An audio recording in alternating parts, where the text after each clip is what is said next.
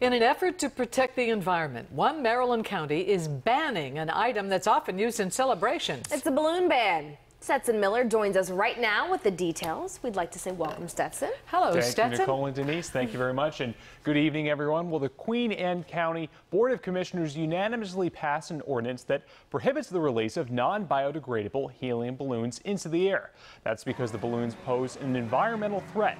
They could get stuck in trees, go into the Chesapeake Bay, or onto animals and their nests. Anyone who deliberately violates the ordinance can be fined up to $250. And balloon releases are a fairly common at funerals, especially when they're being done for children. So be sure to keep this in mind if you're in Queen Anne's County and planning a balloon release.